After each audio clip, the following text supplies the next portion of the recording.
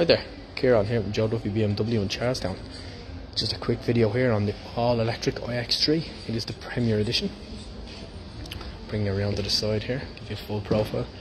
It has the rear privacy glass, it has the black glass around the windows, it has the sunroof, it has 20 inch alloys. They're really nice, them alloys. Move around to the back here, back view.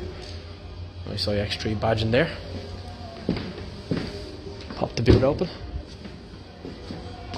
Yeah, huge boot, very practical car. As you'd expect with the iX3, and it has the rear split folding seats. Automatic boot closure. Have a look in the back. Great for families, great for the kids. As you have the ISOFIX points here and here.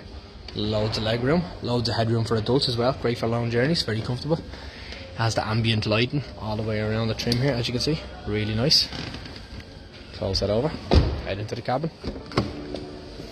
Now, black Dakota leather, sport seats, both the bolster seats on them, the electric, electrically adjustable seats. Close the door. As you can see, you've your cruise control on the left hand side, you've got your media on the right hand side, you've got your automatic headlights, automatic wipers. You have your toggle down here for the iDrive system, best in its class. It also can be used as a tablet, touchscreen, completely touchscreen it is. And oh, here's the media center while you're driving as well. Very nice. A little look around the cabin. There's that sunroof. Really, really works well with this car, the sunroof.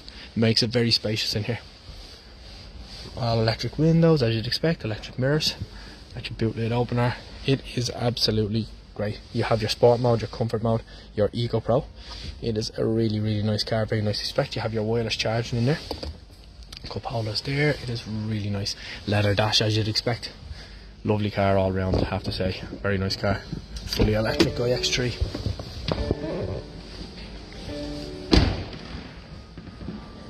As you can see the side skirts there with the blue trim. Very sharp looking car. Finished there. It's great. Okay, hope to hear from you soon.